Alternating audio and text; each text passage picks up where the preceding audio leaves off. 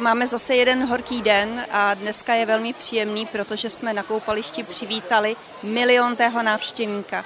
Věřím, že stejně jako paní, která dneska od zprávy nemovitostí dostala malou cenu, eh, stejně tak sem přijdou další návštěvníci a budou spokojeni jako ona. Letní sezóna na koupališti Flošna v tomto roce je 11. letní sezónou.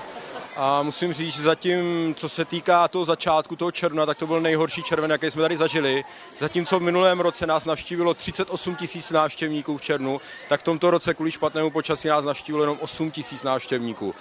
Ale v půlce července se počasí zlepšilo, a to se drží do dneška, takže teď se ta návštěvnost vylepšuje a doufáme, že ty vedra budou pokračovat co nejdíl.